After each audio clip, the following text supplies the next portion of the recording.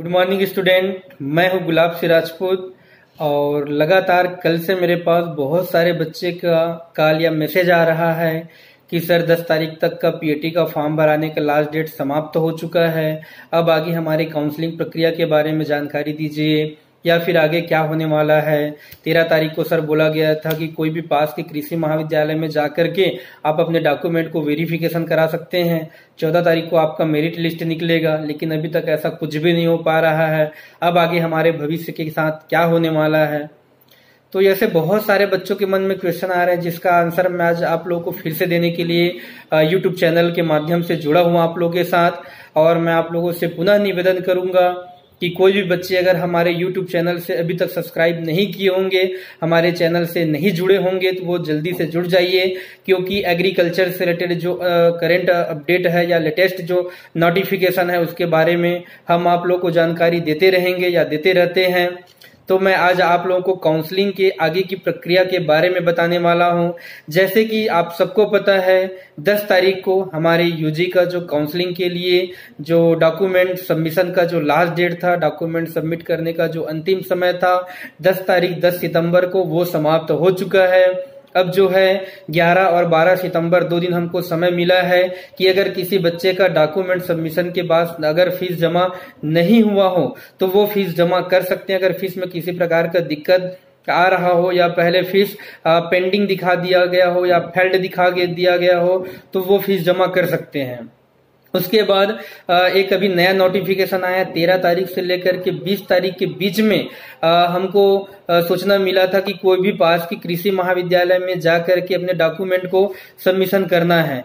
वो डॉक्यूमेंट हम सबमिशन अब हमें करने की आवश्यकता नहीं है, क्योंकि बहुत सारे कृषि महाविद्यालय ऐसे हैं जिसमें कोरोना पॉजिटिव आ चुका है। या फिर वहाँ पे कॉलेजेस को भी किसी कुछ कारण बस बंद कर दिया गया हो या 16 तारीख 17 तारीख को एक नोटिफिकेशन आया कि आईसीआर का एग्ज़ाम होने वाला है ये सबको ध्यान में रखते हुए डॉक्यूमेंट वेरिफिकेशन का जो आ, प्रोसेस है जो इसको बोलते हैं डीओसी आकर के बहुत सारे बच्चे पूछ रहे थे कि डीबीसी क्या है डीबीसी क्या है उसका फुल फॉर्म है डॉक्यूमेंट वेरिफिकेशन तो डॉक्यूमेंट वेरिफिकेशन अभी हमारा नहीं हो रहा है।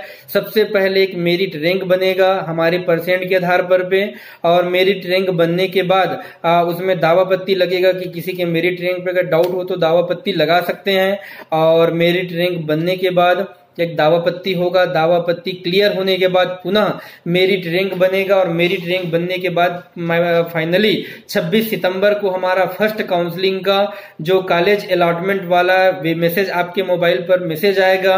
जिससे आपको पता चलेगा कि आपको कौन सा कॉलेज मिल रहा है। उसके बाद कॉलेज मिलने के बाद आपको डॉक्यूमेंट वेरिफिकेशन कराने के लिए 26 सितंबर के बाद आपको जिस कॉलेज में मिलेगा, उस कॉलेज में जाकर के डायरेक्ट आपको डॉक्यूमेंट वेरिफिकेशन कराना रहेगा। या हो सकता है, पहले जैसे होता था कि पहला दिन ज़ीरो एक रैंक से लेकर के तीन सौ रैंक तक को बुलाते थे। दूसरा दिन तीन सौ रैंक से लेकर के छह सौ रैंक तक का। दूसरा दिन छह सौ रैंक से लेकर के एक हज़ार रैंक तक का। ऐसा करके आईजी के भी रायपुर में डायरेक्ट डॉक्यूमेंट वेरिफिकेशन करने के लिए बुलाते थे। और फिर डॉक्यूमेंट वेरिफिकेशन कराने के लिए हमको एक अपने ओरिजिनल सारे डॉक्यूमेंट्स को लेकर के जाना पड़ता था। और उसके साथ में एक दो अटे, सेल्फ अटेस्टेड फोटोकॉपी लेकर के जाना पड़ता था। हो सकता है ऐसे ही होगा। या फिर हमारे जो कॉलेज हमको मिलेगा, वहाँ जाकर के वेरिफिकेशन कराना पड़ेगा। ये भी पिक्चर क्लियर नहीं हुआ है, यहाँ तक का आईजी के भी खुद अभी क्लियर नहीं कर पा रहा है कि वो करना क्या चाह रहा है।